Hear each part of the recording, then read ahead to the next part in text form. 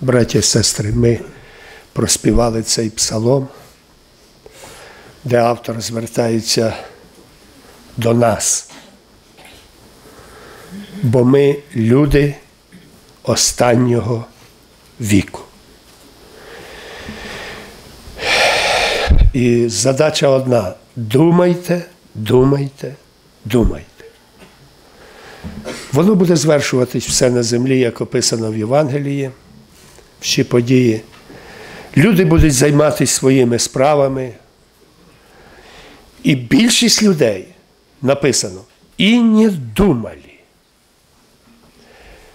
Ми, християни, живемо на цій самій землі, займаємося цими, ну я не маю на увазі гріховними, життєвими цими самими справами. Але наша задача думайте, думайте, думайте. І сьогодні є про що думати. Хай Бог поможе. Господня милість велика над нами, друзі. Ви знаєте, я так дивлюся, дітки сидять. І думаю, Господи, поможи. Поможи тим сім'ям, зокрема, сьогодні. Така слякоть, такий вітер, такий, знаєте, мряка. А прийдеться випроважати. В Дубному четверо діточок лишились без мами. Марійку будуть ховати. У Могилянах тата будуть ховати п'ятеро діточок. Між іншим, я думаю, ми знаємо. Ми також подякуємо Богу за Його милість над нами ще. Помолимося, хай Бог потішить ці. В Могилянах буквально півтори-дві неділі зробили кесарів, п'яте дитятко родила. Лариса. Дружина осталась без Анатолія. Сьогодні ми вчора навіть на братерській бесіді районі так розсуждали, що статистика досить тривожна. Не з того, не з цього, як то кажуть. І не було таких е, діагнозів рокових. Місяць-два. І нема молодих людей. Друзі, ми не знаємо. Дітки, цініть батьками. Будьте слухняні. Хай Господь поможе. Це тільки уявити зараз. Хоч вроді все пережити це. Це не просто. Це це, що ми знаємо в окрузі таку. А скільки по світі горя і біди. Цінім цим часом, який дає нам Господь. Цінім друг друга. Цінім милостями Божими. На зібрання, як стаємо молитись, братики, моліться. І сестрички також. Просіть у Господа милості. Господь чує молитви, Господь не оставить, Господь благословить, проведе. А якщо й когось десь хоче провірити до крайності і допустити, то Він не оставить. Він дасть сили перенести. Бо сьогодні немає такого сказати, ага. Господній жребій, Він розсуждає, Він вибирає, кого покликати і в скільки років, чи в 33, чи в 38, як Анатолія. Він знає.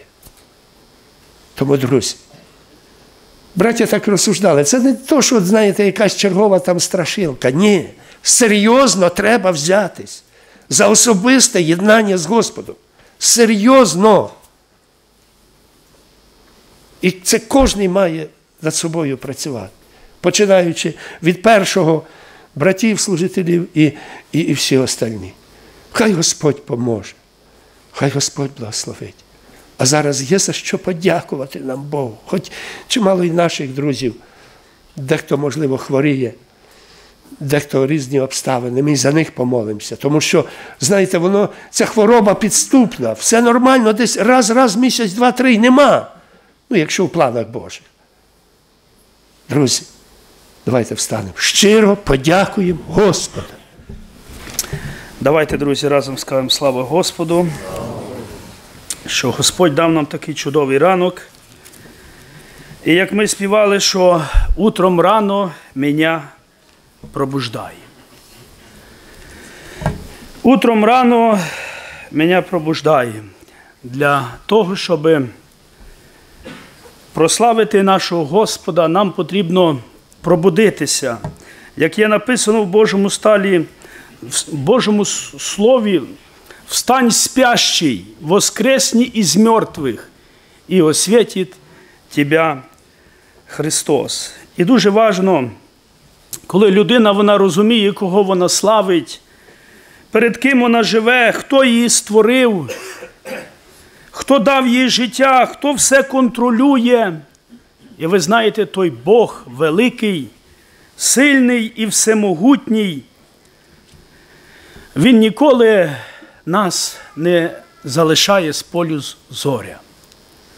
Бог всемогутній, який може бути скрізь одночасно всемогущий, який все бачить, все контролює і все знає. І Іов, коли він роздумав своїми друзями, розмовляв, які прийшли до нього,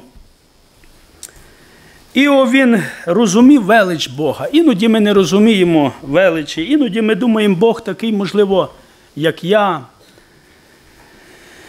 Але ці люди, які розуміють велич Божу, вони, ви знаєте, благоговіють перед Ним. Вони в страсі ходять перед Богом. Вони знають, як розмовляти, як говорити, як поступати на цій землі. Це люди, які пізнали Бога. Хоча є написано про Його велич, що її розум не може досягнути, розум людини. І і у 11 розділі, 7, 7 вірші сказав такі слова. Чи ти Божу глибинь дослідиш? Чи знаєш ти аж до кінця всемогутнього? Вона вища від неба. Що зможеш зробити? І глибша вона за Шеол. Як пізнаєш її?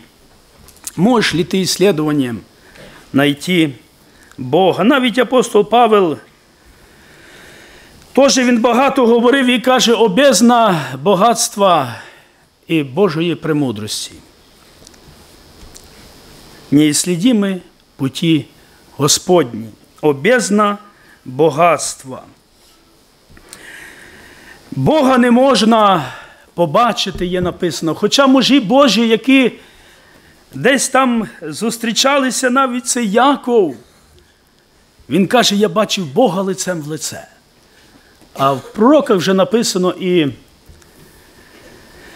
ангел боровся з ангелом, там умоляв, плакав перед ним з ангелом. Бог іноді посилає ангела свого. І людина, щось побачивши таке сверхъєстественне, вона каже: Я бачив Бога. Але написано, що Бога ніколи ніхто не бачив. І Бога не може ніхто бачити, але Бог, ви знаєте, такий великий і сильний, всемогутній, Він відкрив себе. Бог великий, Він відкрив себе. І коли читаємо римлянам в першому розділі, 19 вірш, є такі слова, тому що те, що можна знати про Бога, явне для них, бо їм Бог об'явив. І далі, бо його невидиме від створення світу, власне, його вічна сила й божество, думанням про твори стає видиме, так що немає їм виправдання. Оказується, Бог, ви знаєте, коли люди роздумують над творінням Божим, вони в цьому бачать там почерк Бога, не почерк людський. І вчені, які досліджували Бога, які, верніше, які говорили, що немає Бога, колись говорили, що Бога немає, але коли досліджували ці творіння, то ви знаєте, вони навіть приходили до Бога. Вони казали, що Бог є, Бог існує. І навіть е, намалювали таку картину, що лізе по великій скалі той, що досліджує оці Божі творіння, він лізе так високо, напрягає великі сили для того, щоб досягнути щось, взнати те, що Бог створив. І він вилазить на одну з таких великих вершин і дивиться, там сидить християнин і читає Біблію. І каже, слухай, як ти сюди попав? А він каже, я завжди тут читаю Біблію. Ви знаєте, а оказується, люди, які читають Біблію, вони вже знають. Вони вірять в те, що Бог сотворив, Бог создав, що є Бог, все те, що існує, створене Богом, і все воно покоряється Богові. І навіть науковці, які досліджували ось ці зорі, галактики, планети, вони якось говорили, що. І навіть ми не раз читаємо, що там 5 мільйонів років назад було те, 5, тобто, що Земля існує вже мільйони, багато мільйонів років. Але коли зробили таку, ви знаєте, там один вчений зробив таку, такого телескопа великого, щоб досліджувати ці зорі, галактики, оце пространство, яке сотворене. І вони обнаружили, оказується, що це пространство, ці зірки, які розташовані, вони один від одної віддаляються. Тобто це пространство росте. Вони думали, що воно стоїть все на місці, але коли дослідили, оказується, що ця, це пространство воно росте.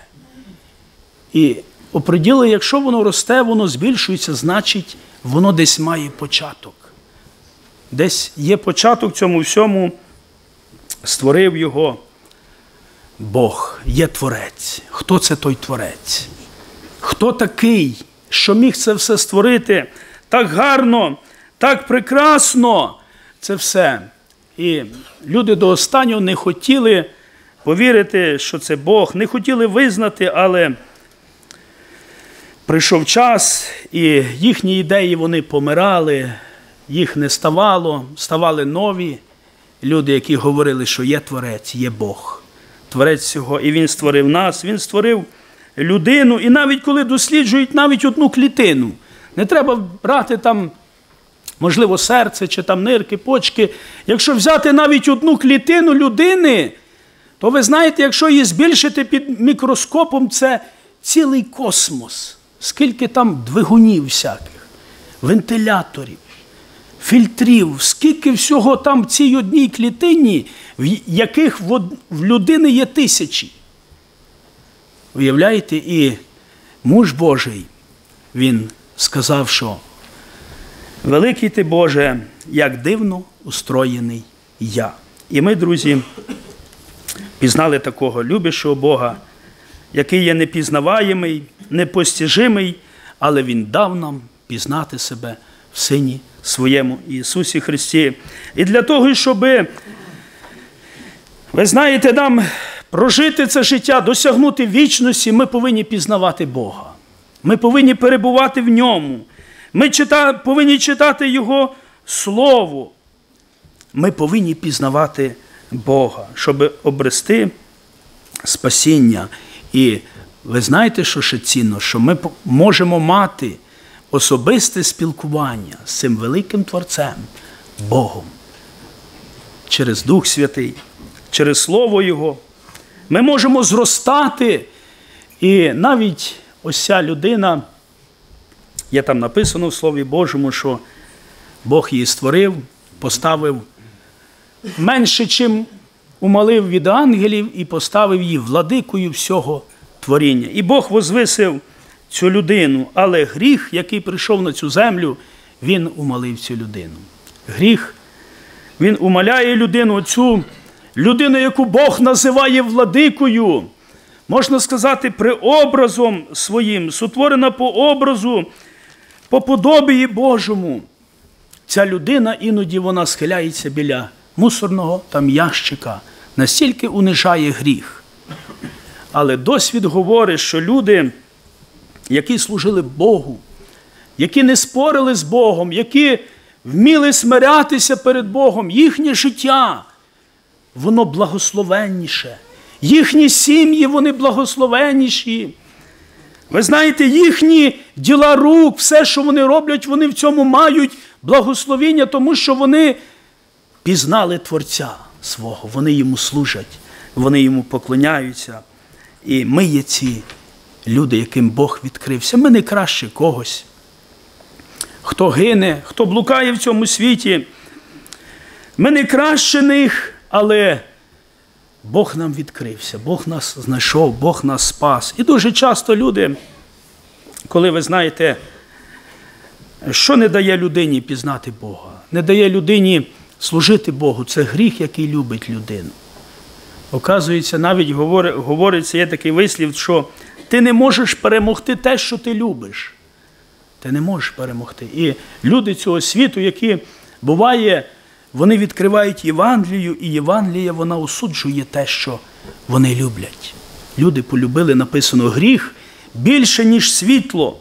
Люди полюбили темряву, і люди відкинули правду. Люди не захотіли, тому що не захотіли, щоб їхні діла облічилися. Я так трошки, ви знаєте, ми мали такий урок вчора, роздумування про Бога, про велич його. Я так трошки дещо законспектував, дещо записав. І ви знаєте, наскільки це все є чудово, пізнавати, роздумувати. І дійсно, як є написано, римлянам я прочитав перший розділ, 20 вірш. Думанням про твори стає видиме. Коли ми думаємо про це? Коли ми думаємо, сьогодні диявол він не хоче, щоб ми про це думали, не хоче, щоб ми вникали в Боже Слово, не хоче, щоб ми розсуждали. Але коли ми думаємо про це, ми бачимо, ви знаєте, Творця. Ми віддаємо йому славу, тому що Він є достоїн. І ці люди, які покорилися, визнали Його, які пішли на боротьбу проти гріха. Як апостол Павел каже, я не тільки б'ю воздух, не тільки махаю кулаками, але каже, що я проповідуючи, я хочу, щоб не лишитися цього достоїнства вічного життя. І цього Духа Святого, якого він отримав, каже, що я я вірю, я знаю, що він сильний зберегти цей завдаток на онний день. Ви знаєте цю дорогоцінність, яку Бог нам дав. Він хоче, щоб ми пронесли через все життя, через випробування, можливо, через сльози, через труднощі. І на цей онний день ми сказали, як казав апостол Павел, я силі, я знаю, що ти силен зберегти цей завдаток. Ось цей завдаток, Господи, який Ти дав мені, я його зберіг. Я сохранив цю благодать, цю любов. І є написано навіть там плоди духа, любов. І так, Таке є навіть пояснення, чому не плоди, верніше, плод духа любов. Плод духа любов. Бог є любов. І плод духа є любов.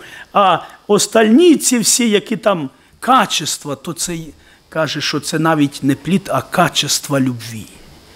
Оказується, без любові не можна досягнути там остальних цих качеств. Любов, радість, мир, довготерпіння, кротость, воздержання. Милосердя, віра на такових нет закона. Для таких людей нема засудження, які живуть по цих законах любві, по плоду духа. І ми сьогодні повинні ревнувати це, перевіряти своє життя. Бог нам дав час, Бог нам дав добрі, добрі дні ще дає, які ми повинні цінити. Хоча диявол він сьогодні направляє свою армію, щоб обманути, обольстити. Він не прийде так, як як диявол. Ніхто не скаже, ось Антихрист вже прийшов. Тому що Іван написав і каже, що вже появилось много антихристов. Він прийде, як, щоб обольстити. Він прийде навіть як маючи від ангела світ, свята, світла, щоб поділити, посіяти якусь ворожбу, ненависть. Але ми повинні пильнувати, ми повинні бодрствувати, любити, прощати, молитися, як ми співаємо, нести хрест церкви Ісуса Христа, нести, бути в служінні, бути в винограднику, бути в молитві піднімати свої руки. Ми згадуємо старі часи, коли Мойсей, Ор і Аарон вийшли на гору, воює Ізраїль.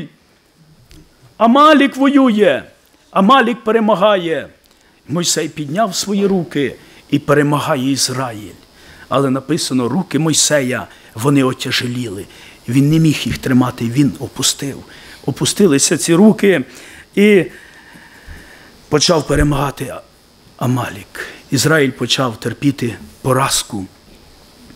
І бачиш, це Ор і Аарон, які були біля Мойсея, вони стали поруч, посадили Мойсея на камінь, підняли його руки і тримали написано до захождення сонця, доки Ізраїль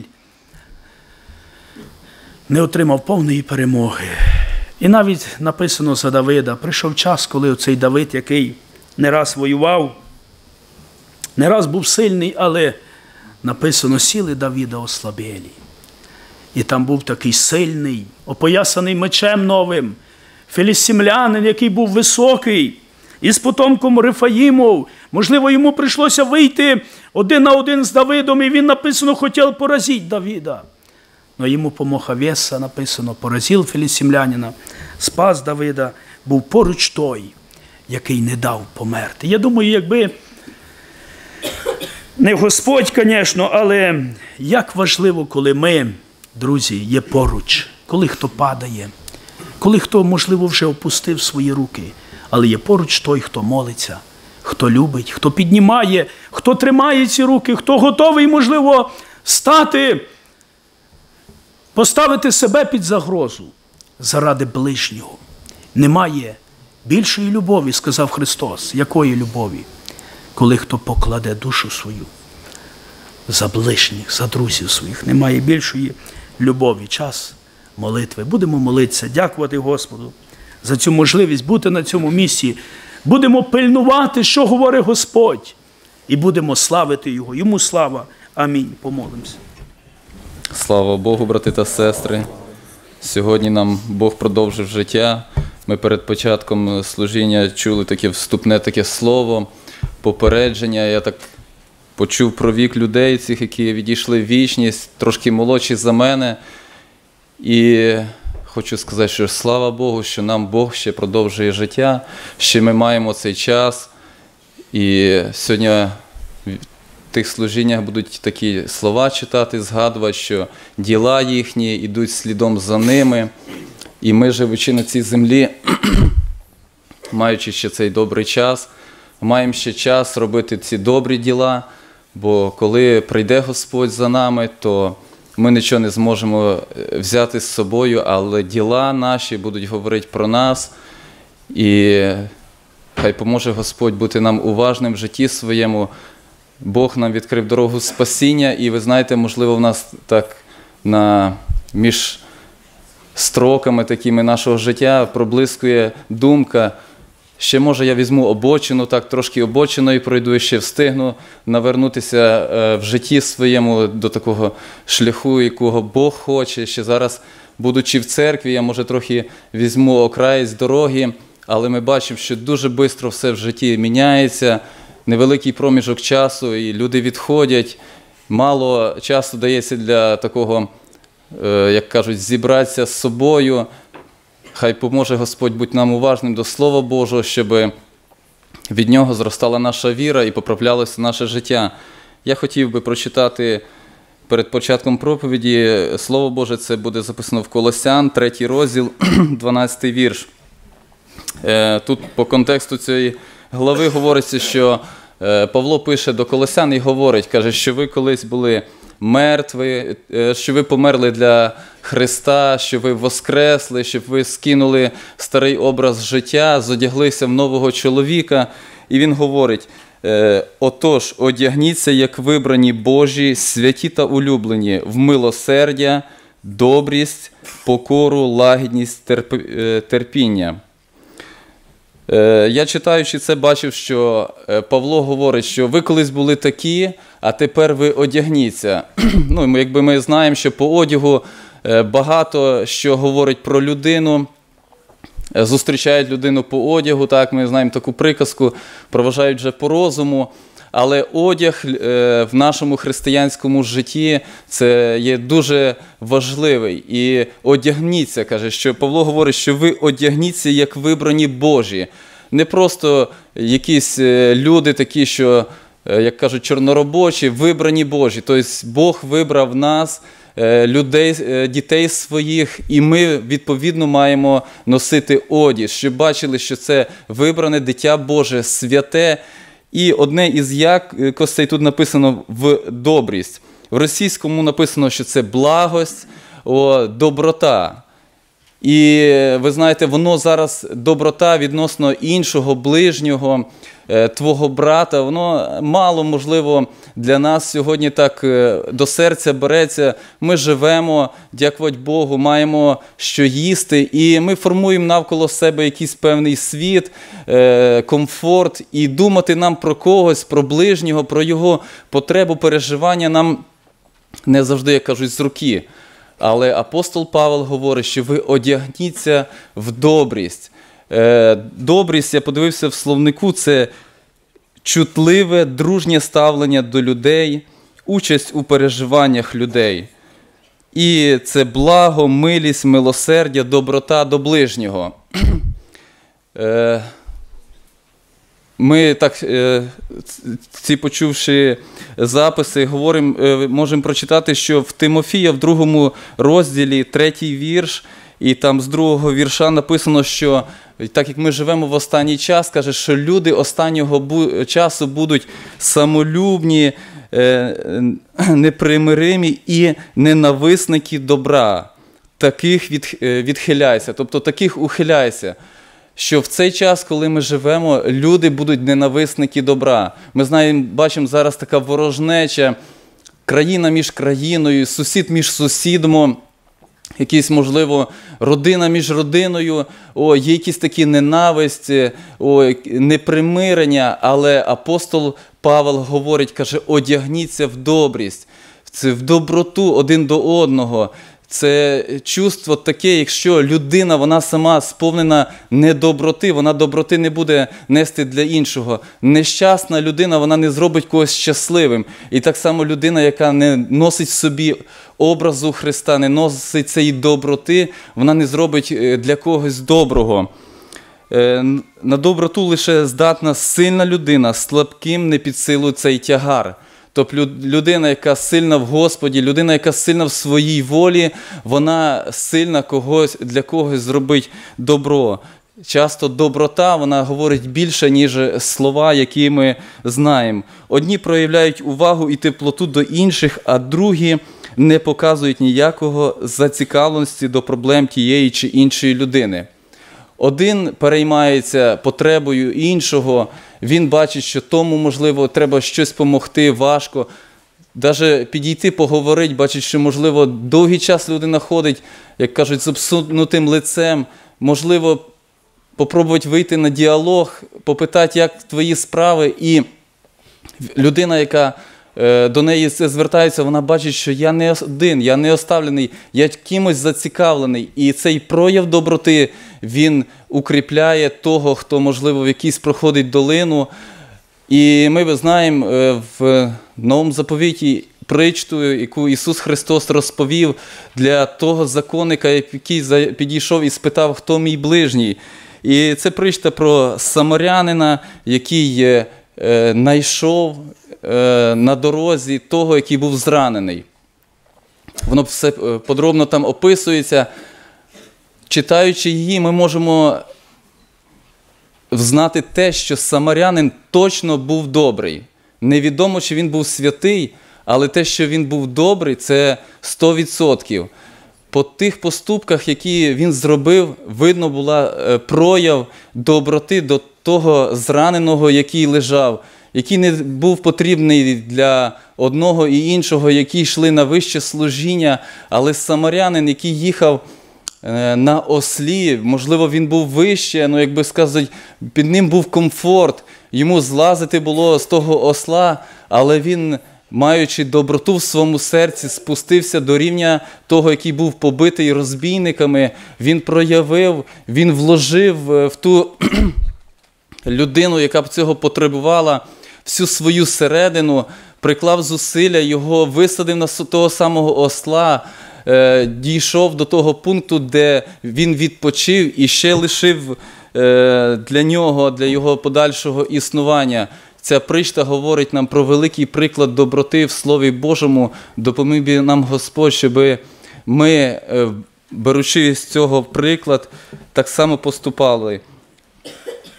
Ісус Христос, коли до нього привели сухорукого, е, говорить, що коли вівця впаде е, в суботу, то ви її дістаєте. Тобто, навіть по законі Моїсея е, робити доброту не заборонялося в суботу. Сьогодні, брати та сестри, Бог нас закликає всякого часу робити добро для наших ближніх, для тих, можливо, для кого важко робити, але Божа доброта свого часу прийшла в наші серця, і ми, я сказав би, зобов'язані її віддавати для інших. В Еклезіаста 11 розділ, перший вірш говорить, що каже: пускай хліб по водам, бо по прошестві, е, по е, з плином часу ти його знову знайдеш. Коли ми будемо цю доброту віддавати, пройде час, і вона до нас повернеться. Так часто буває, як кажуть, і обідно, коли ми до когось із хлібом, а до нас кидають камінням. Але знайте, що Бог все це бачить, і Бог цінує ваше серце, яке щиро прикладає до того зусилля, щоб показати Божий характер вашому, е, в своєму житті. Коли ми, можливо, хочемо якийсь отримати за прояв доброти до ближнього приз чи нагороду, чи щоб нас похвалили, повірте мені, що прийде час і ми розчаруємось в тому, що, можливо, ми на цій землі не отримуємо якоїсь нагороди за це. Але вірою чиніть діла доброти, знаючи, що, можливо, прийде час і будуть говорити, що діла його йдуть за вами, і ви, е, це будуть ваші діла, які за вами йдуть. І е, не опускайте рук. В Галатах, 6 розділ, 9 вірш, говориться такі слова: і не, не подайте духом, роблячи добро, бо свого часу пожнемо, якщо не ослабнемо. І підсумок моїх коротких слів я хотів би зачитати те, що я підсумував. Якщо ми хочемо потішити батьків, якщо ми хочемо показати прояв вдячності, краще всього зробити добро для їхніх дітей. Коли ми хочемо для Христа показати свою вдячність за те, що Він нас спас, оправдав, за те, що ми куплені Його дорогою ціною, робіть добро для своїх дітей, як там написано, найпаче своїм по вірі. Робіть для тих, які ще далекі від Христа. Пам'ятаймо, що наші, можливо, слова, які ми е, про спасіння, про покаяння будемо говорити, вони не такі будуть сильні, коли будуть наші добрі, е, наші прояви доброти до ближнього, вони будуть набагато вище говорити. Якщо люди побачать, що нам, що нам, мені все одно до їхньої потреби, їхньої нужди, то вони ті слова просто приймуть як звук. Допоміг би нам Господь пильнувати в житті нашому, брати приклад з тої пришти доброго самарянина, проявляти доброту, святість добре, праведність добре, але прояв доброти теж добре. І це потрібно для нас, дітей Божих. Йому слава. Амінь.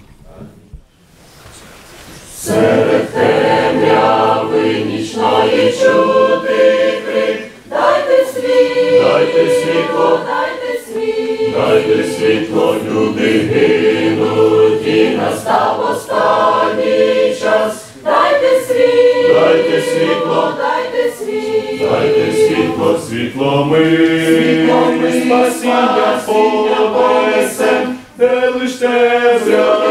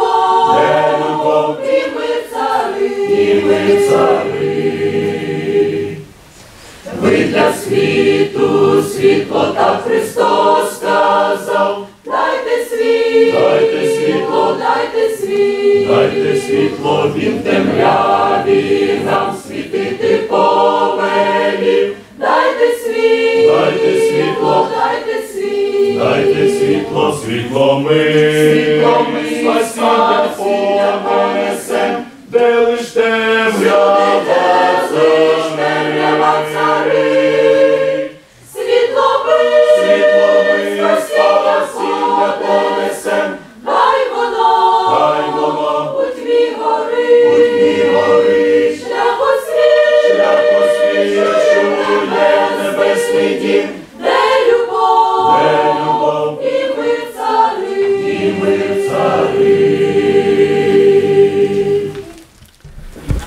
Скажемо слава Господу. Господь дає нам ту відвагу, з якою хор наш співав, що ми світло спасіння для світу понесемо. Слава Богу. Ніхто не хоче світло для світу нести. Христос за себе говорив, доки я в світі, я світло для світу. Но і для народа Божого Він говорив, що ви світло для світу. І ми понесемо, але наскільки ми будемо світити, залежить від того, як наша душа бодрствує перед Ним, як вона ходить. І муж Божий говорив про те, що Слово Твоє, воно світильник для ноги моєї. Кожний християнин він повинен ходити з цим світильником.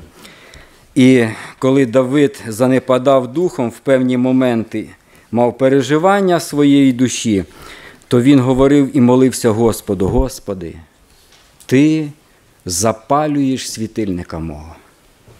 Саме сьогодні ми прийшли перед лице Господнє, щоб запалитися світильниками і бути світлом для цього світу.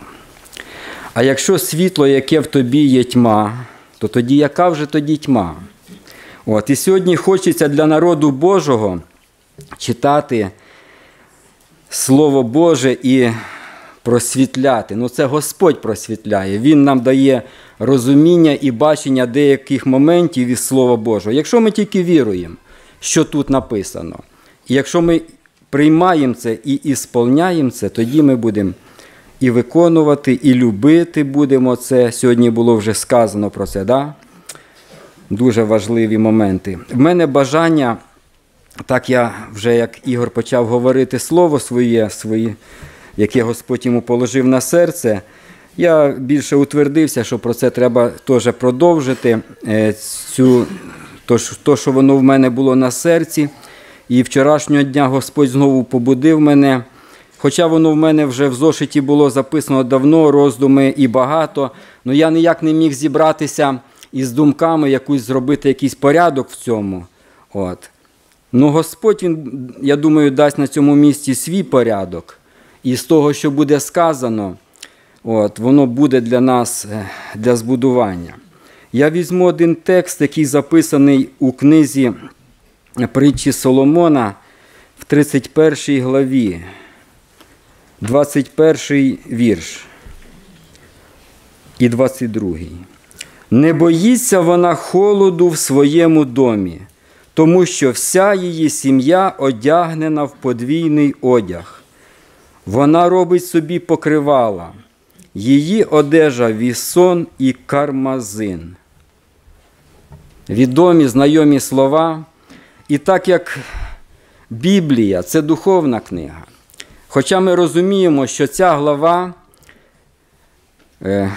це її, можна сказати, не Соломон, хоча притчі Соломона, е, це не Соломон її склав цю главу, а це йому передала мати його.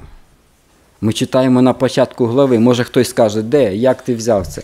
Просто на початку цієї глави написано, що повчання, яке давала йому його мати.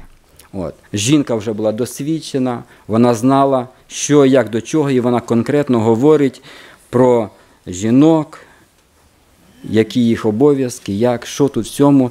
Але ми в цьому беремо сьогодні для себе, звичайно, в практичному житті. От. І беремо також духовні речі. Тому що, скажімо, Біблія це духовна книга, і якщо ми читаємо, наприклад, Гора Сіон, да? Географічна точка на карті. але для народу Божого, для християнина, для мене це ще духовне оприділення, духовний стан. Тому що на горі Сіон Господній престол, там Госп... ми співаємо Гора Сіон, гора святая, престол там Господа стоїть. І, і багато моментів в Писанні апостол Павло каже, ось треба ну, судити духовно. От. І ми, розсуждаючи над цим, якийсь момент ми читали просто як настанови, можливо, хтось брав для себе і дивився, як ця жінка, як вона споруджує, будує свій дім, як вона раненько встає, дітям роздає, там за чоловіком теж доглядає, і все там, там порядок. Но в якийсь момент, коли Господь нас приводить і проливає більше світло на якийсь знайомий нам текст, ми вже читаємо там не просто як руководство і вказівку, але читаємо е, духовні настанови. І я хочу сьогодні саме говорити із цього слова про те, що, е, що говориться в цьому слові для духовного чоловіка. Ну, для мене, для себе я це взяв. Не боїться вона холоду в своєму домі. От зима прийшла. В зимній період про це можна лучше говорити, лучше понімати. Тому що літом ми прийшли собі, можливо, там в одній сорочці, футболочки, одна кофточка, все там, все в нас, як то кажуть, легеньке. Но зимовий період написано про це, що подвійний одяг. І насправді в духовному житті християнина повинен бути подвійний одяг. Не просто щось одне ми беремо. Є люди, які роблять упор на служінні своєму. Є люди, які роблять іще на чомусь упор, на праці. От. Но тут саме пишеться про подвійний одяг і що що відбувається. Не боїться вона холоду. Ми співаємо псалом, що е, такий, може, ще цієї зими не співали, пусть сейчас мороз, леденит висок, да, стынет на щеке горькая слеза, только б не замерз веры колосок, серцю остывать никак нельзя. І для духовного серця, для душі нашої не страшний духовний холод, коли ми одягнені у правильній одежі, в духовній одежі. Звичайно, сьогодні можна говорити е, іменно про зовнішній вигляд. Як християнину личить, як не личить.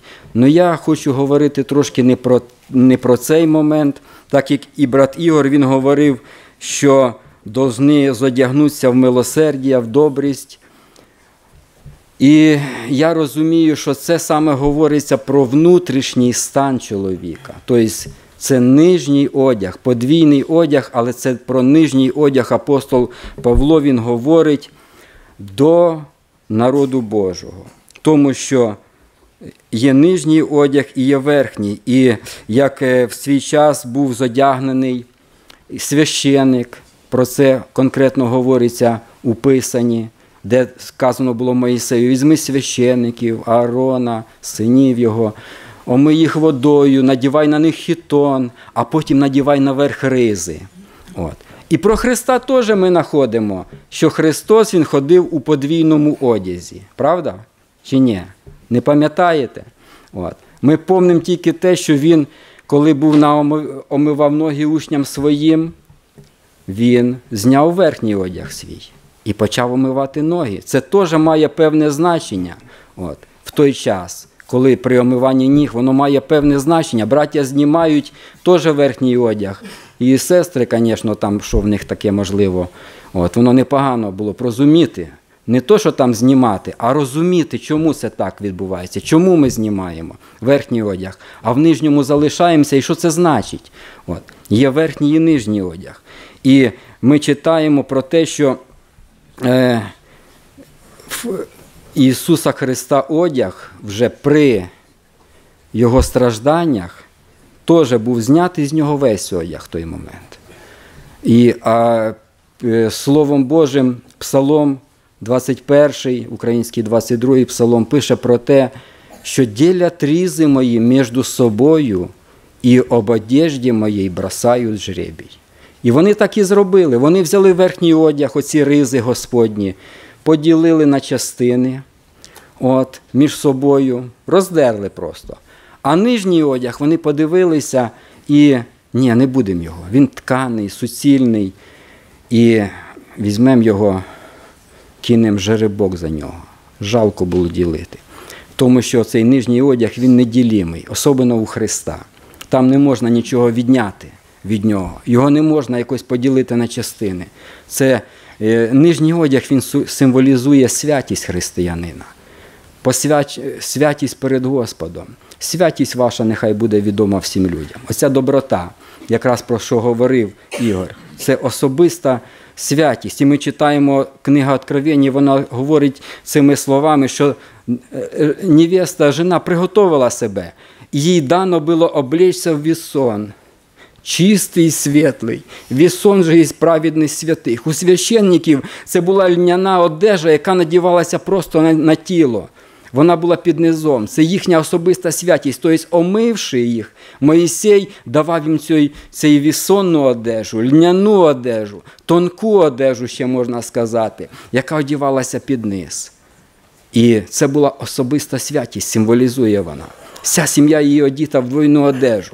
Тобто християнин найперше в церкві. Тут говориться про церкву.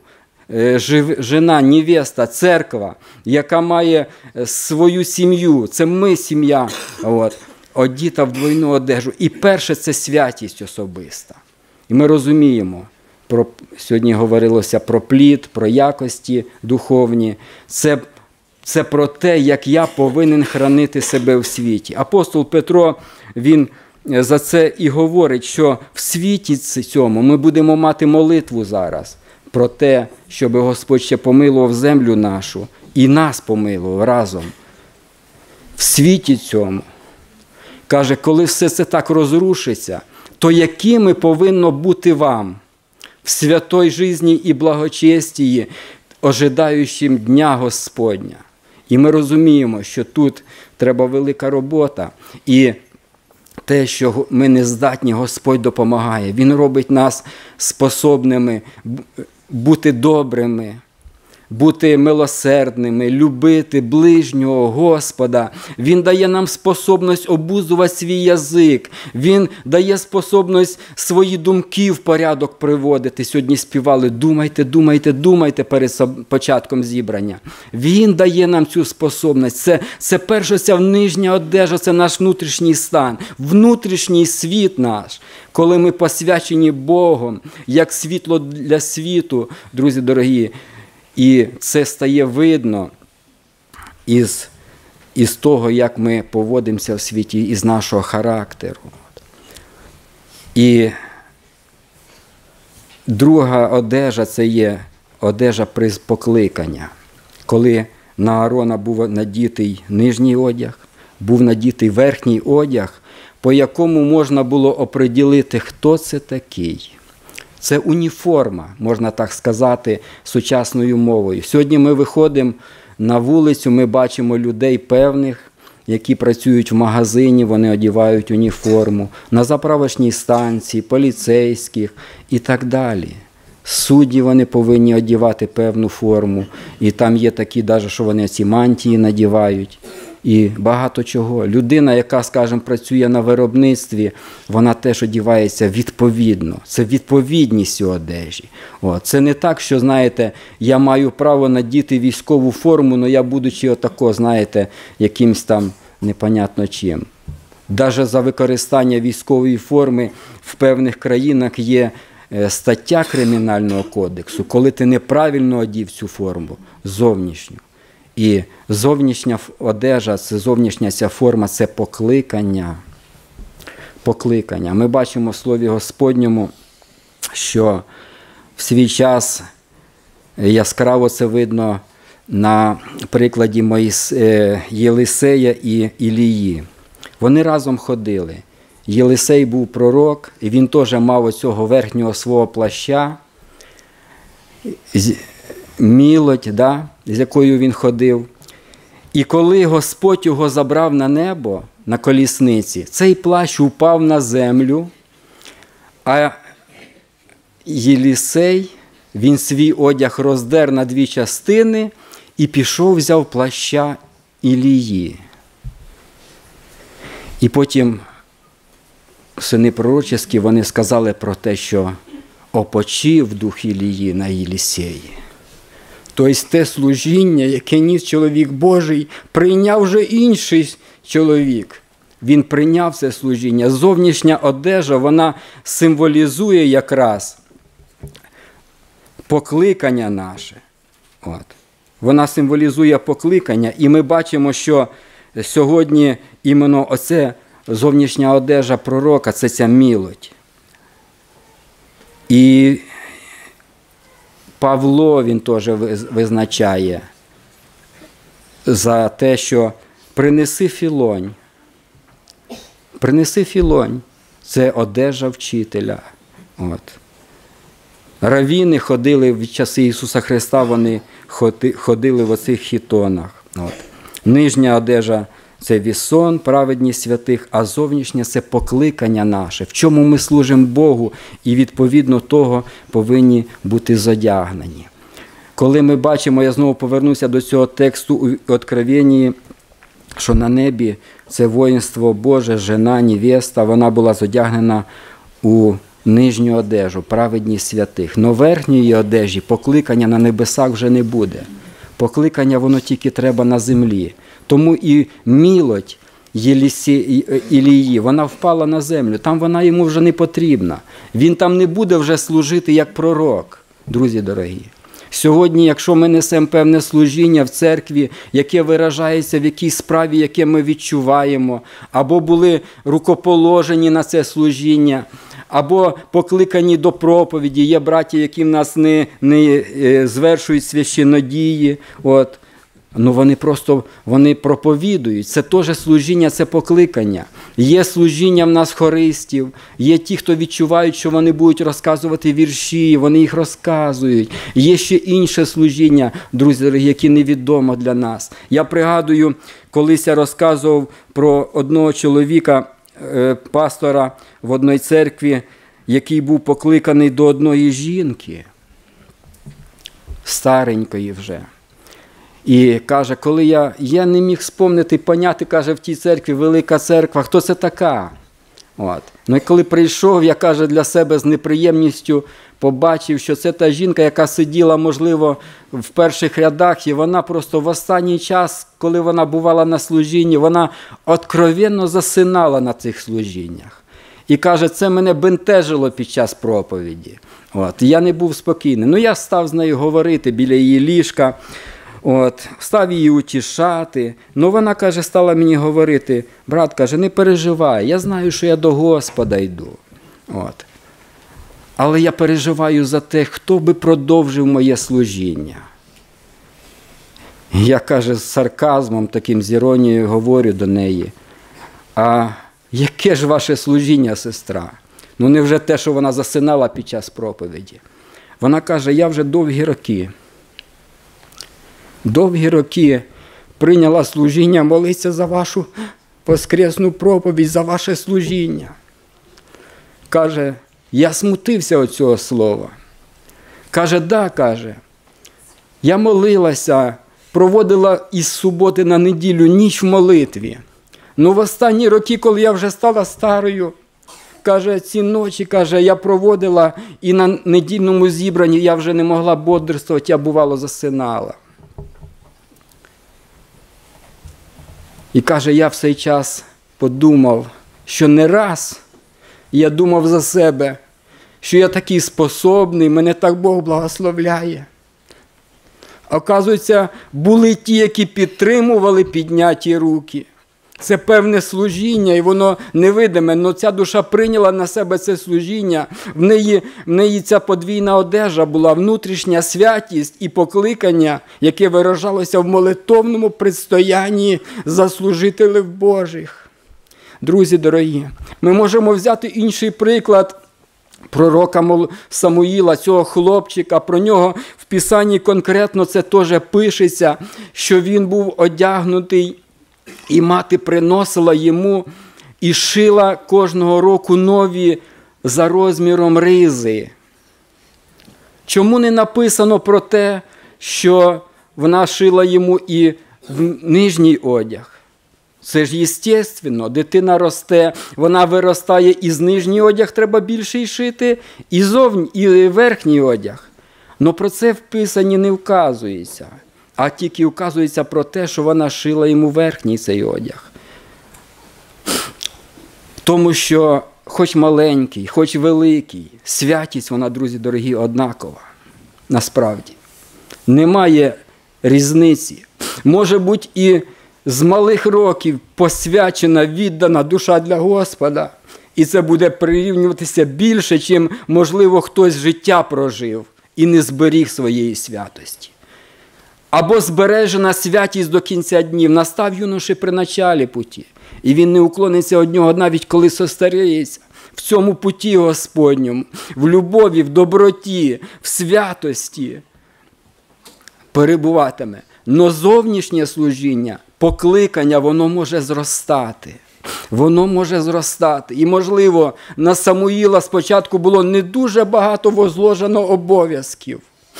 Но потім, по мірі того, як він вже там возростав, і мати приносила йому більший одяг, з яких він виростав з тих одеж.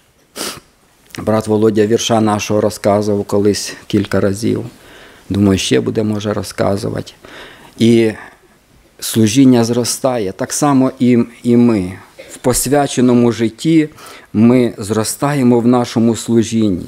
І розуміємо, що ця відповідність до того, скажімо, служіння, вона повинна проявлятися. І навіть в зовнішньому одязі. І, І ми це розуміємо. Одне без другого бути не може. Ми можемо собі уявити, наприклад, коли проповідник вийшов, от як виходить в нас в костюмах, і, наприклад, не вдів сорочку да, під низ, і майку не вдів, наприклад. Тут в одному костюмі. Може, навіть і застібнувся, може ні. Як воно буде виглядіти? І воно часом так буває. Коли я хочу, знаєте, себе показати в чомусь, хочу себе показати, ми хочемо показати себе. Но під низом нас нема доброти, нема любові, нема стриманості, нема віри, друзі дорогі. І от ми надіваємо і букву трактуємо. Ми трактуємо, беремо Слово Боже, і Господь прямо проти цього говорить. Що ти каже, береш? Устави мої, а слова мої кидаєш за себе. Тобто ти елементарних речей не прийняв даже. Ти це переступив. І Господь Він говорить конкретно і прямо проти цього. І і багато моментів є, де Господь говорить е, в деяких е, саме словах про те, що е, навіть коли от Іаков, який із сімейством своїм прийшов і Господь покликав його прийти на те місце поклоніння, Віфіль, і вони, каже, ідолів своїх убрали, вони одежі свої перемінили. І ми бачимо, це, це слово багато говорить. Господу не нравляться одежі іноплеменників. Ми читаємо це в книги пророка Софонії. Каже, я посіщу всіх одіваючихся в одежду іноплеменників. І нам так здається, що ми можемо якби бути віруючими. Но зовнішнє ми одіваємо таку одежу, що нас не відрізниш в цьому світі. Одежа вона дана нам для того, щоб проповідувати, щоб світити в цьому світі. І звичайно, що це разом із тим і матеріальна, натуральна одежа, в той же час і духовне розуміння. От, і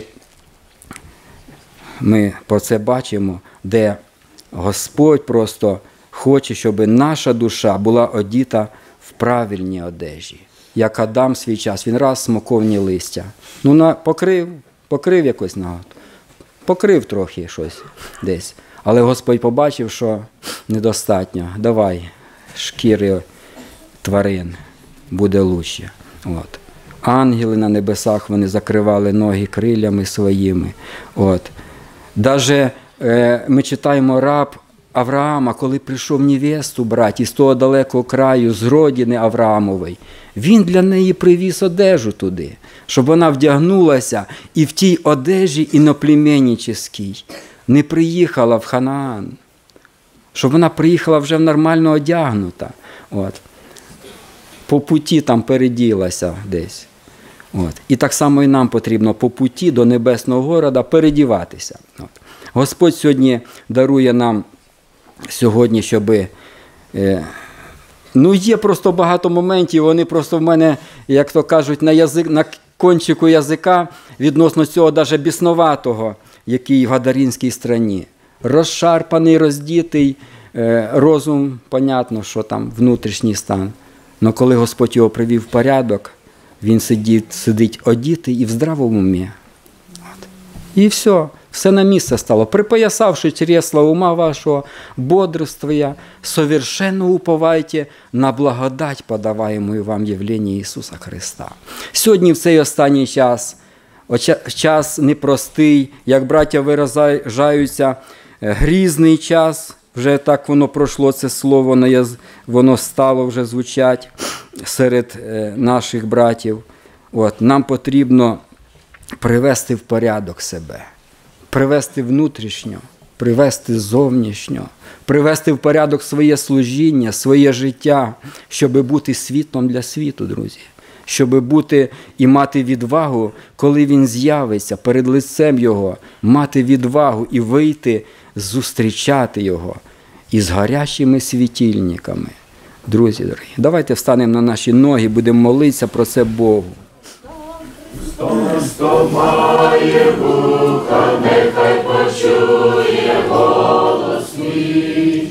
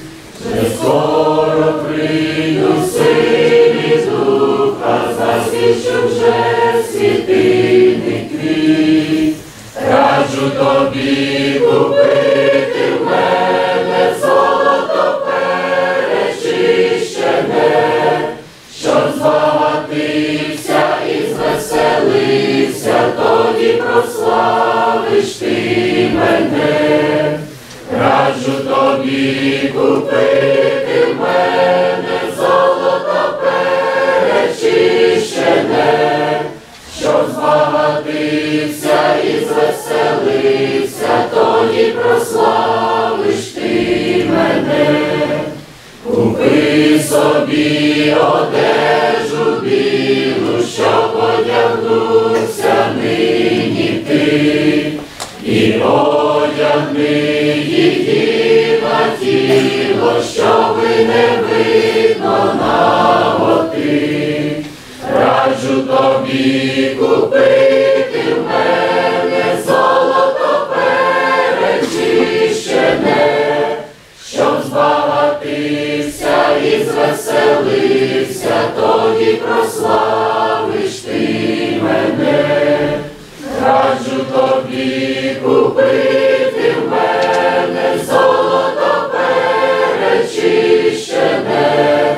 Що збагатився і звеселився, тоді прославиш ти мене, і масі від очей купити, я нині раджу сам тобі, щоб очі твої помастити, щоби не жити у злобі. Раджу тобі купити в мене золото перечищене, щоб збагатився і звеселився, тоді прославиш ти мене, раджу тобі купити в мене золото перечищене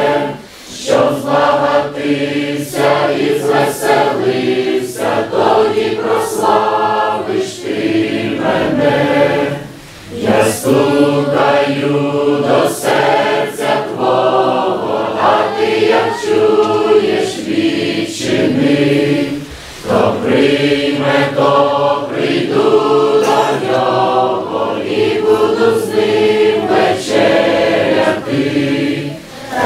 хочу тобі купити в мене золото перечищене, щоб збагатився і звеселився, тоді прославиш ти мене, кажу тобі купити в мене.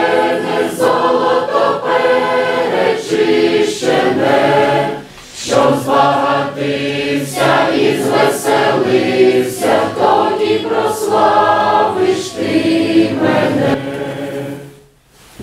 я записан в книге жизни вечна і святой, вечна і святой, вечна і святой, встречи скоро я. жизни мой Господь с тобой.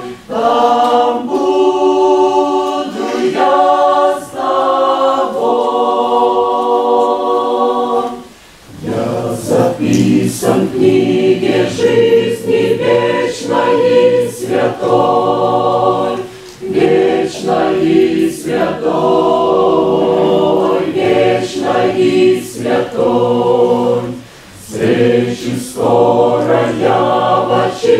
Hear, boy, the sport.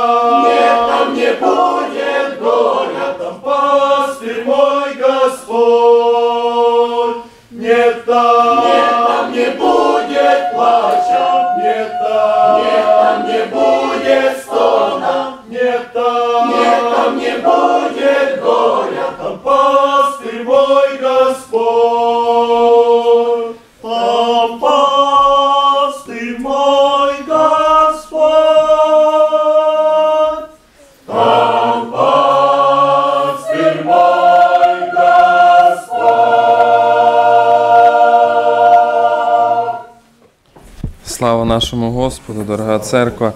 Знаєте, слухаю цей псалом, кажу до Роми, хоча б ну, не розплакатись. Воно, знаєте, так торкається ці слова, що там вже на небесах дійсно не буде плача. Але на цій землі нам трошки треба, друзі, поплакати. Від самого початку служіння, я не знаю, на першій молитві в мене вже ну, тікли сльози. Хочеться близості з Богом, хочеться якогось єднання такого з Богом, щоб Дух Святий сьогодні наповняв церкву Його. Знаєте, друзі, одне місце Слова Господнього я хочу прочитати. Це Ісаї записано: приходьте і порозмовляємо, говорить Господь. Ви знаєте, дорога церква, я так, е, ну, проаналізувавши, коли брат Володя починає зібрання, закінчує, і він акцентував увагу вже буквально тиждень, можливо, два, на близість з Господом, на особисті єднання з Господом. Друзі, це велике сьогодні, це дуже, дуже ну, велику має вагу. Це наше єднання лічне з Господом. Друзі, і через молитву. Це один із таких пунктів, яке єднання з Господом це через молитву воно може бути. Сьогодні заклик іде Біблії, сьогодні Слово Господнє нас закликає дуже багато, що нам потрібно молитися.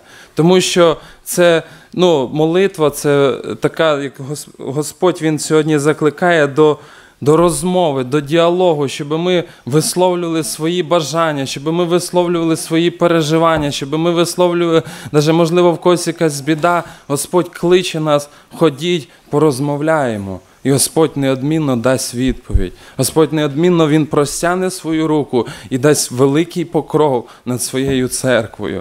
Знаєте, читаємо Біблію, і коли Ісус Христос Він молився в Гевсиманському саді, молитва вона була тоді непростою, дуже важкою. І коли він каже до своїх учеників: попильнуйте зі мною. І коли він відійшов, там написано, він відійшов на відстань як китком каменя. Ну, можна уявити це, скільки метрів. Він відійшов, він впав і почав молитися. І коли він приходить через деякий час, він дивиться, ученики сплять його. Ученики заснули крепким сном, і він говорить до них такі слова, це записано в Луки. І сказав їм, чому спите? Устаньте й помоліться, щоб ви не потрапили в спокусу. Закликає Христос, щоб ви не потрапили в спокусу. В той час вже даже багато чого не було, те, що сьогодні ми маємо.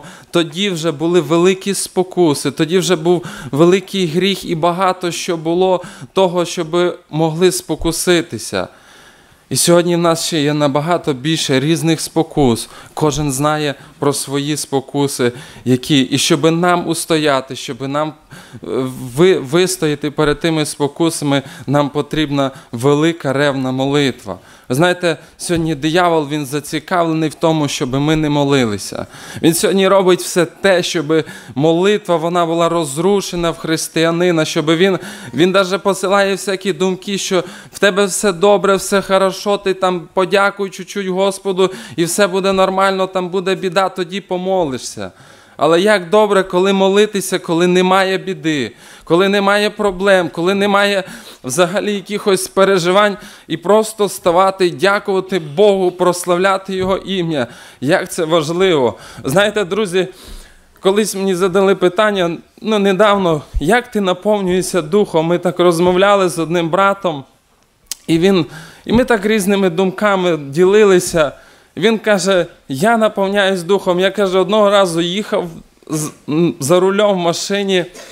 І каже, був невіруючий чоловік біля мене. Він каже, я так просто їду і не знаю, що на мене знайшло. І каже, сльози течуть, плачу. І не можу навіть слова вимовити. І каже, я просто почув присутність Духа Святого. Я так само йому розказав свій приклад. Одного разу мені теж прийшлося їхати десь 8 годин в машині. Я так їхав, просто прокручую в своїй голові різні думки, навіть, ну так можна сказати, проповіді інколи прокручую. І просто якась така ну, присутність Господня відчулася. І тако просто молиться, кажу, Господи. І навіть як той брат казав, немає навіть слів, просто йдуть одні сльози. Просто йде таке якесь наповнення Духа Святого. Сьогодні не вистачає нам ось цього в церкві. Я, друзі, закликаю нас до того, щоб ми більше і більше зближались з Господом, щоб ми не жаліли своїх емоцій, щоб ми не стримували своїх сліз, щоб ми молилися, щоб в нас тікли сльози, сльози радості, навіть коли, можливо, в когось є якась біда, і хтось плаче, щоб ми разом з ним плакали. Це, це, є, це має бути в церкві таке, це має бути в дітей Господніх, щоб ми один з одним плакали, підносили в молитвах. Ви знаєте, є багато сьогодні критики, що немає молитви. Я, я згідний з цим. Але сьогодні давайте будемо менше критикувати, а більше один одного мотивувати в тому, щоб сьогодні в церкві молитва вона збільшувалася. Щоб ми сьогодні відчували присутність Духа Святого. Це є дуже добре. І, і, і друзі, я хочу привести деякі приклади з Біблії, який результат дає молитва. Наскільки молитва, вона, Господь Він слухає, можливо, деякий час Господь стримується, Він, можливо, мовчить, можливо, не простягає сразу свою допомогу, але приходить момент, і Господь відкриває свою допомогу, посилає. Я читаю одне місце, це записано в повторення закону. Коли ізраїльський народ він впав в гріх, він, він відійшов, можливо, прямо так сказати, відійшов від Господа, відвернув своє лице від Господа, і Бог е, він робить таку, ну, каже, я знищу цей народ до Моїсея, каже, що я е, произведу із тебе свій народ. Каже, він, я його істреблю. Так Господь хотів так вилити свій гнів за те, що вони відвернулися. Але Моїсей, він, він каже, Господи, і починає молитися до Господа. І тут написано. 9 глава. Я молився перед Господом 40 днів і 40 ночей. Які я молився, бо Господь сказав, що вигубить вас. Я молився до Бога і сказав: Господи, Господи, царю богів, не губи свого народу і своєї спадщини, яку ти, яку ти визволив. Своєю великою силою, яких ти вивів з єгипетської землі, своєю великою силою, своєю могутньою рукою і своїм піднесеним раменом. Така молитва була Моїсеєва, і далі в 10 главі, в 10 стиху пише: Я перебував на горі 40 днів та 40 ночей, і Господь вислухав мене й цього разу, і Господь більше не хотів вас вигубляти. Друзі, один чоловік просто проніс велику ревну молитву. Він каже, 40 днів і 40 ночей до Господа молився і моляв, і Господь його почув. Знаєте, Молитва церкви, вона теж має велику силу. Одного разу мені прийшлося досліджувати і писати одну таку роботу. Церква як впливає на світ і на сучасність. Знаєте, друзі, сьогодні саме найбільше ми можемо впливати на цей світ, на сучасність молитвою. Брат Павло приводив приклад тої сестри, яка, можливо, незнатна, вона взагалі, можливо, її навіть багато і людей критикували, але вона молилася, вона яку результативність давали її молитви. Тому слово Господнє через те, що вона молилась, воно звучало. Я думаю, що сьогодні серед нас є такі сестри, брати, які неодноразово моляться за молодь, за служителів, за проповідників, щоб Господь Він благословляв, давав сили, і щоб Господь Він більше підкріпляв. Я думаю, щоб і ми ще будемо про це молитися і просити, і щоб Господь таких людей нам посилав, тому що такого не вистачає. Хай Господнє ім'я буде благословенно і прославлено. Йому слава. Амінь. Браті і сестри, можна було б е, на цій молитві закінчити зібрання вже і достатньо, і нормально. Але буквально декілька хвилин. Ми ще будемо молитись Богу. Звісно, не удивляємось, це ж дім молитви. То якщо дім молитви, то якщо і молитви навіть саме більше буде, то це зовсім не порушення. Я просто хочу нагадати, я час від часу нагадую це слово, так потривожив Господь. Воно було трошки зародище ще під час проповіді брата Павла, а особливо коли Господь сказав своє слово Духом Святим, то я так просто сприйняв і від Господа дано цей вірш, ще два вірші, е, півтора вірша тут повторить, і ми помолимося Богу. В нас буде ще така е, спеціальна молитва. Просто Господь цього хоче. Щоб отака молитва я озвучу е, за ті душі, які серйозно хочуть мати прорив у своєму духовному житті і перемогу. І я перш за все прочитаю Слово Боже. Знайоме місце, яке я казав, час від часу я його нагадую, тому що тут, звісно, це пророче слово, але воно е, про Божого Сина, ми його діти, воно в великій мірі стосується і нас. Пророк Ісаїя говорить в 50 розділі, там друга половина четвертого вірша і п'ятий вірш. Щоранку він пробуджує, пробуджує вухо моє, щоб я слухав подібно до учнів. Господь Бог відкрив мені вухо, і я не заперечив, не відступив назад. Друзі, я хотів би, щоб е, ми розмір, порозмірковували коротесенько над цим словом. Подібно і нас Господь, особливо недільного, щоранку пробуджує і навчає, навчає, відкриває вухо, зазначено не вуха, а вухо. Тому що, дяка Богу, майже всі, в когось там трошки є, може вада якась слуху, там чи буває як зору і так далі, чи обоняння. Е, Тому що люди фізичні бувають недостатки якісь, але це не гріховне положення. Но коли вухо закрите, сердечне, внутрішнє, як ми чимало чули, це вже питання серйозне. Це дуже серйозне. Але Господь відкриває вухо, щоб я і кожен з вас, брати і сестри, вчились подібно учащимся. І ось яка відповідь учащогося. Я не воспротивився. Це перше, це внутрішнє, це особисте, це не підконтрольне людям зі сторони. Це тільки я і ти, брате і сестро, знаєш. Чому, в чому, в чому, коли і як я можу воспротивитись сердечно внутрішньо. Я не воспротивився, і це вже як ми чули і внутрішнє, і зовні, і якби воно вже трохи назовні виходить, і не відступив назад. Сьогодні це дуже важливо, друзі. Воно поміняти кроки тут не виходить. Не виходить. Тут порядок. Перше, це я не воспротивився. І тоді тільки може другий зробити крок, не відступити назад, або не зробити вірніше кроку. Назад.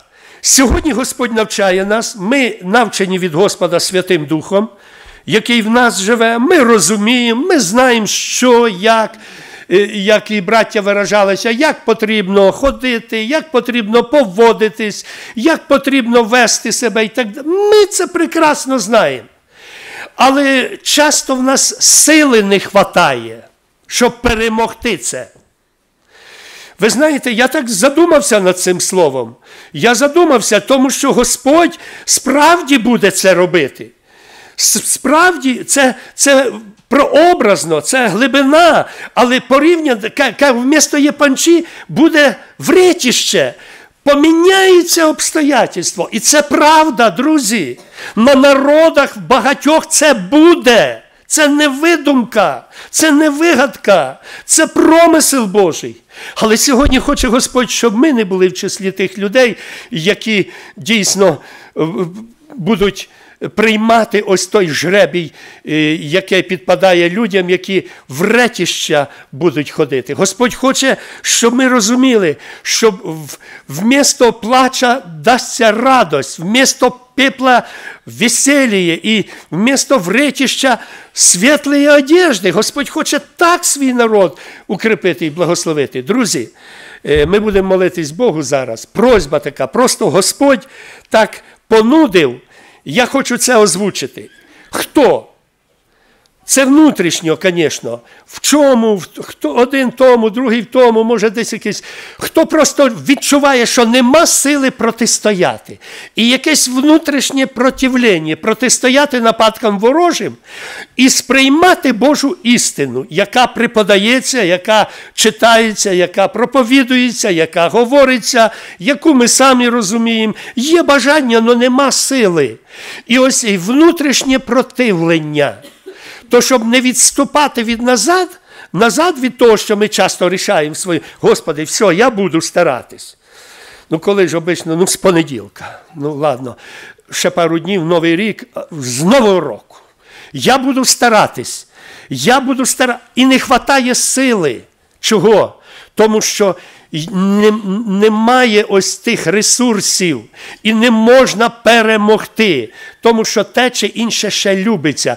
Е, досить така фраза е, цікава прозвучала сьогодні. З самого початку брат говорив, що справді е, ми ніколи, якщо йде мова про боротьбу, про перемогу, то ніколи не зможеш перемогти того, що любиш. Не переможеш, ти будеш переможений. І ось цього, звісно, в добрих намірах, е, відношенні друг до друга, хай Бог благословить, що ми не перемагали один одного, а любили. І добре відношення і в сім'ї, і в церкві, і з друзями. Але коли йде мова про якийсь гріх, чи якийсь собланс, чи якесь недобре діло, то його перемогти і любити одночасно не вийде. Його треба просто не полюбити, щоб перемогти. І це правда, це фраза цікава така, це фраза істина. І сьогодні, друзі, і молодші братики, і сестрички, і старші, якщо хтось відчуває, що просто бачить, що є бажання, немає сили перемогти, якесь противлення, якесь несогласіє. Будь ласка, Господь хоче щирості, відкритості, можете пройти сюди. Ми щиро помолимося Богу. Бог дасть сили для перемоги. Бог дасть сили, щоб перемогти. Бог дасть сили не противитись. Бог дасть сили краще помовчати, порозмірковувати, зважити, знайти правильне рішення, ніж зразу взбунтуватись, взявши якусь фразу чи цитату із Слова Божого, ми можемо зразу ж е, бути в числі бунтовщиків. Зразу ж. І я думаю, це кожного із нас, мене і вас буває в житті. Якщо тільки немає внутрішнього наміру сприйняти істину, зразу шукати десь якісь моменти, щоб ними підсилити своє противлення. Но Господь сьогодні закликає. Хай Господь благословить. Ми зараз схиляємося і молимося. Хто бажає, будь ласка, прийдіть сюди. Це особливо Господь дасть сили для перемоги.